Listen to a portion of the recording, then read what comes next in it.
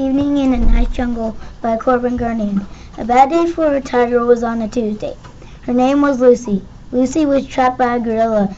The gorilla name was Mr. Big. Mr. Big used, used to be Lucy's friend. Then he became evil and trapped Lucy. After that, Lucy distracted Mr. Big and she said, Hey, look over there! Mr. Big fell for it. Lucy said, Ha, ha, ha. Mr. Big turned and stared at Lucy and got mad. Lucy said, Uh-oh. She ran behind a bush. Mr. Big found her, but they became friends again. Once they were playing, a giant came and squashed a tree.